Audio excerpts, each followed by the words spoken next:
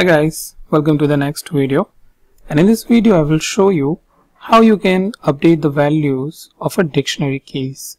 So for example, when you move on uh, to a next period, there is a greater chance that uh, there is a change in the ranking of the products. So let's see how we can handle that here. So first of all, uh, one of the very first option that we have is uh, by specifying, let's say for product C, our ranking has changed to let's say 8 right? So let's go ahead and execute that. Rank underscore products.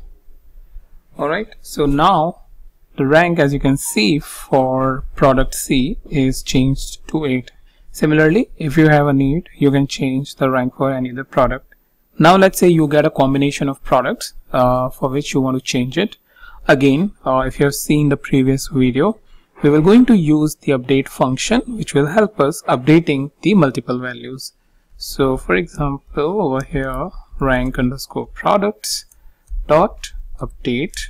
Within that within the curly bracket specify the key. And let's say it is moved to rank 10 and for product B it is moved to 11 let's go ahead and execute this and say rank underscore products.